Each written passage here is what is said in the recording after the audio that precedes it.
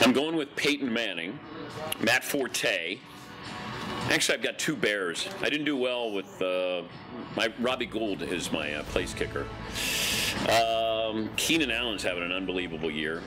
James Jones, I've got him, even though it's on the road in San Francisco, and San Francisco just got embarrassed. AJ Green was a guest on the show this week, so a shout out to him. Frank Gore, maybe this is the week that Indianapolis looks great from start to finish. So there you have it.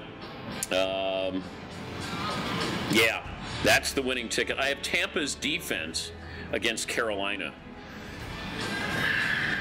It came with a cheap price tag, all right?